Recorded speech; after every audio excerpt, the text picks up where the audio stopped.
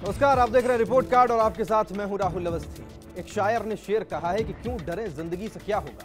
क्यों डरे ज़िंदगी से क्या होगा? कुछ नहीं होगा तो तजुर्बा होगा। और शायद इसी तजुर्बे को सूंघने, चखने के लिए चुनावी घमासान में छोटे बड़े, नए पुराने, कर्मठ, बेकार और हल्के और वजनदार सब कूद पड़े हैं। शायर के शेर ही नहीं, बल्कि दहाड़ने वाले शेर भी राजनीति में घसीटे जा रहे हैं। उपमा अलंकार की इस लड़ाई में अपने अपने नज़रिए से खुद को और विरोधियों को नवाजा जा रहा है। नारों के शोर के बीच मुद्दे सुनाई देना बंद हो गए हैं, लेकिन ये पब्लिक है। सब जानती है और आपका जानना, समझना और आसान हो सके। इसलिए फ़र्स्ट इंडिया जारी कर रहा रिपोर्ट कार्ड ताकि तस्वीर धुंधली नहीं रहे। आज जारी हो रहा है झुंझुनू का रिपोर्ट। कार्ड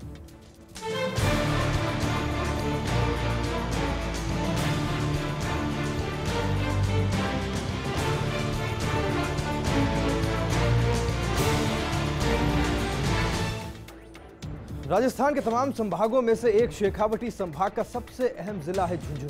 झुंझुनू जिला अपने शौर्य और महिला शिक्षा के कारण विशेष पहचान रखता है।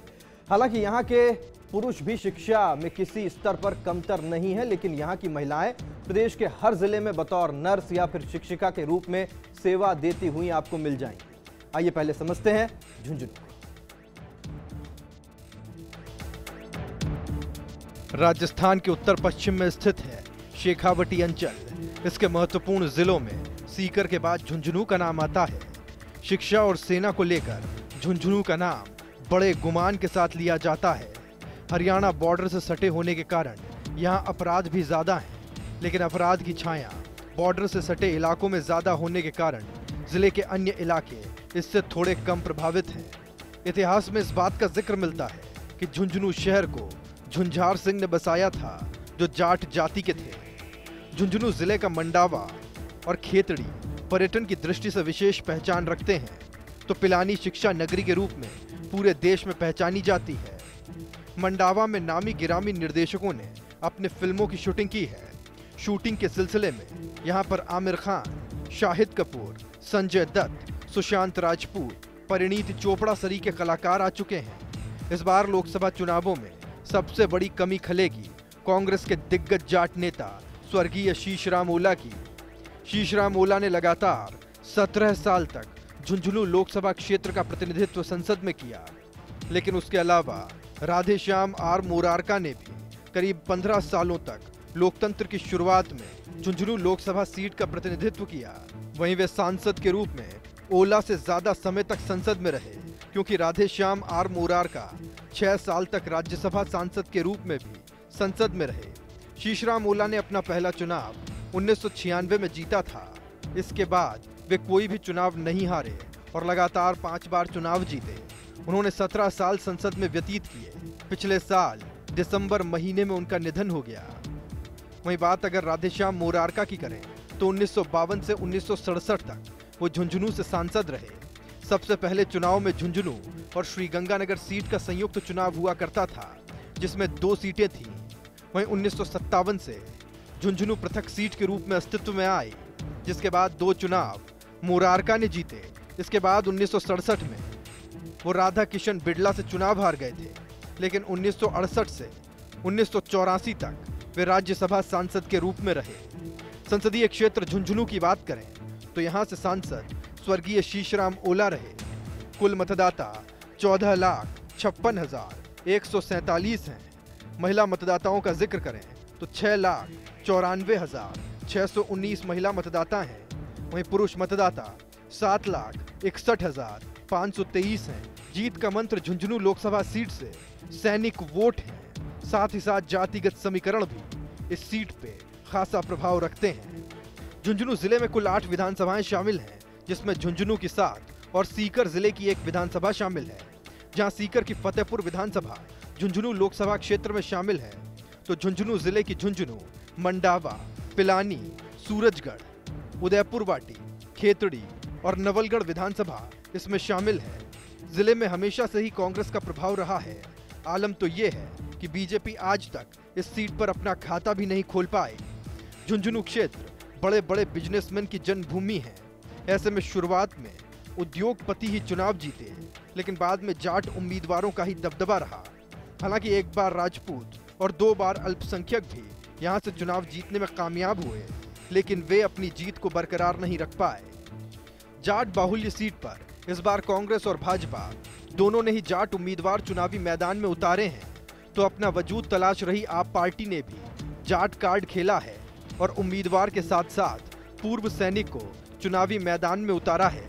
एक नज़र डालते हैं, संसदीय क्षेत्र में आने वाली सीटों पर। झुंझुनू संसदीय क्षेत्र से विधानसभा के गणित की बात करें तो यहाँ से झुंझुनू सीट से कांग्रेस के टिकट पर ब्रिजेंद्र सिंह ओला जीते। पिलानी से भाजपा के टिकट पर सुंदरलाल ने जीत हासिल की। सूरजगढ़ से भाजपा के टिकट पर संतोष अहलावत जीती। उदयपुर वाटी से भाजपा के टिकट पर शुभकरण चौधरी जीते। नवलगढ़ से निर्दलीय डॉक्टर राजकुमार शर्मा जीते।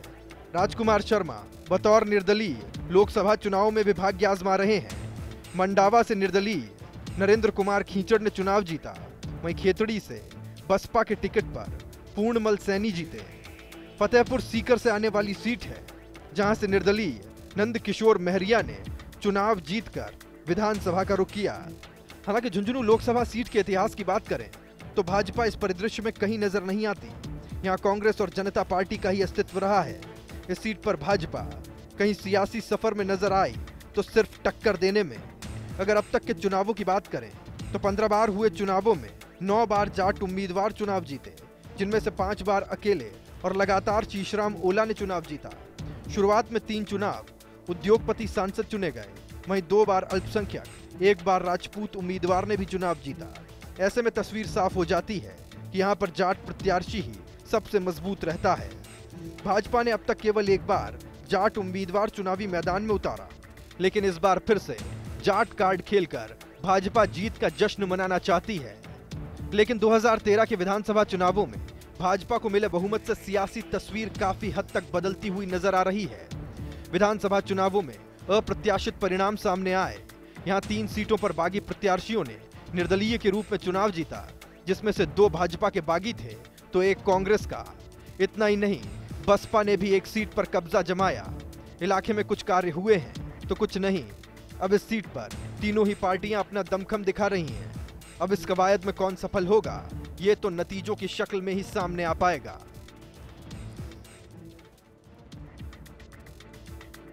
शेखावटी में स्थित झुंझुनू ज़िले में प्रकृति के कई रंग धरा पर देखने को मिलते हैं। यहाँ पर आमतौर पर भाजपा और कांग्रेस में सीधी जंग देखने को मिलती है, लेकिन इस बार बीजेपी से संतोष अहलावत, कांग्रेस से राजबाला ओला, आम आदमी पार्टी से राज काद्यान निर्दलीय राजकुमार शर्मा और बसपा से रहीशा बानो के मैदान में आने से मुकाबला बहुकोणीय और बेहद दिलचस्प हो गया है। झुंझुनू ज़िले का खेतड़ी इलाका पहले महत्वपूर्ण ठिकाना हुआ करता था। खेतड़ी रियासत पूरे राजस्थान में फैली हुई थी। राजा अजीत सिंह ने खेतड़ी को बसाया था। यहाँ पर विवेकानंद भी आए थे और विवेकानंद का नामकरण भी यहीं पर हुआ था। झुंझुनू शहर झुंझार सिंह नेहरा के नाम पर सन 1730 में बसाया गया था। यहाँ की हवेलियाँ और उन पर की गई। फ्रेस्को पेंटिंग प्रसिद्ध है। नेहरा लोगों के प्रसिद्ध सरदार, झुंझार सिंह नेहरा का जन्म विक्रम संवत 1721 के श्रावण महीने में हुआ था। उनके पिता नवाब के यहाँ फौज के सरदार, यानी फौजदार थे। युवा होने पर सरदार झुंझार सिंह नवाब की सेना में जनरल बन गए। उनके दिल में ये बात पैदा हो गई कि भारत में जाट साम्राज्य स्थापित हो। इसी को उन्होंने सार्थक कर दिखाया। झुंझुनू ज़िले के उदयपुरवाटी इलाके में अरावली पर्वत श्रृंखला भी है। यहाँ की हवेलियाँ, मिठाइयाँ और शिक्षा काफ़ी प्रसिद्ध है। यहाँ के निवासियों की आय का मुख्य ज़रिया कृषि है। कृषि में बाजरा, दालें, जौ, सरसों, गेहूँ आदि यहाँ की मुख्य फ़सलें हैं। ज़िले में सीमेंट, हैंडीक्राफ्ट आदि के कारखाने हैं। यहाँ पर उदयपुर वाटी इलाके में खनिज संपदा मिलने के भी आसार हैं, जिस पर काम हो रहा है। झुंझुनू जिला अपनी अलग पहचान रखता है। यहाँ का रानी सती मंदिर विश्व प्रसिद्ध है। वहीं सीकर बॉर्डर पर स्थित शाकंभरी माँ के दरबार में भी अक्सर कई राजनेता और अभिनेताओं के अलावा विशिष्ट जन मन्नतें मांगने के लिए आते हैं। झुंझुनू लोकसभा क्षेत्र में आठ विधानसभाएँ आती हैं, लेकिन खास बात यह है कि विधानसभा चुनाव में फतेहपुर विधानसभा का मतदान सीकर ज़िले में होता है, जबकि लोकसभा चुनाव में फतेहपुर विधानसभा के लोग झुंझुनू लोकसभा सीट के लिए मतदान करते हैं। इस लोकसभा से चुने गए सांसदों ने दिल्ली की राजनीति में भी अपना परचम लहराया है। इसमें स्वर्गीय शीशराम ओला तीन बार मंत्री रह चुके हैं, कैप्टन अयूब खान मंत्री रह चुके हैं, जगदीप धनखड़ सदन में उपनेता की भूमिका अदा कर चुके हैं। इस सीट पर शुरुआत के चार चुनावों में उद्योगपतियों का जलवा रहा। वहीं इसके बाद जाट नेता ही, लगातार चुनाव जीतते आए, जिसमें शिवनाथ सिंह गिल कन्हैया लाल महला और शीश राम ओला शामिल हैं। इस बार लोकसभा चुनावों में कांग्रेस से डॉक्टर राजबाला, भाजपा से संतोष अहलावत और आम आदमी पार्टी से राज काद्यान चुनाव मैदान में तीनों ही उम्मीदवार जाट समुदाय से ताल्लुक रखते हैं। वहीं झुंझुनू से दिवंगत सांसद स्वर्गीय शीशराम ओला शेखावटी ही नहीं, बल्कि देश प्रदेश की राजनीति में किसी परिचय के मोहताज नहीं है। स्वर्गीय शीशराम ओला ने सरपंच से लेकर केंद्रीय मंत्री तक का सफ़र तय किया। एक नज़र डाल लेते हैं। ओला के जीवन सफ़र। स्वर्गीय शीशराम ओला अब हमारे बीच में नहीं है, लेकिन उनकी सांसद रिपोर्ट की बात करें तो स्वर्गीय शीशराम ओला का जन्म 30 जुलाई 1927 को झुंझुनू ज़िले के अरड़ावता गाँव में हुआ। उनकी शादी शोबाई के साथ हुई। उनका निधन गुड़गांव के अस्पताल में छियासी साल की उम्र में 15 दिसंबर 13 को हुआ। निधन के वक्त वे केंद्रीय श्रम और रोज़गार मंत्री थे। पेशे से किसान, पूर्व सैनिक तथा सामाजिक कार्यकर्ता थे। उन्होंने लगातार उन्नीस सौ सत्तावन से 1990 तक राजस्थान विधानसभा में प्रतिनिधित्व किया। 1980 से 1990 तक वे राजस्थान सरकार में कैबिनेट मिनिस्टर रहे। उन्नीस सौ तिरानवे से उन्नीस सौ छियानवे तक वे फिर से राजस्थान विधानसभा के सदस्य रहे। उन्नीस सौ छियानवे से निधन तक वे लगातार सांसद रहे और तीन बार केंद्रीय मंत्री बने। पहली बार सांसद बनकर उन्होंने केंद्रीय मंत्री का पद संभाला। स्वर्गीय शीशराम ओला के पुत्र ब्रजेंद्र ओला झुंझुनू से विधायक हैं।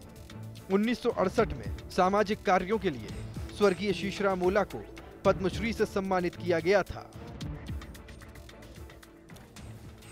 और चलिए इसी के साथ वक्त एक छोटे से ब्रेक का है। ब्रेक से लौटेंगे तो जानेंगे झुंझुनू की इस बार की नई परिस्थितियाँ क्या कहती हैं, क्या बन रहे हैं समीकरण एक छोटे से ब्रेक के बाद।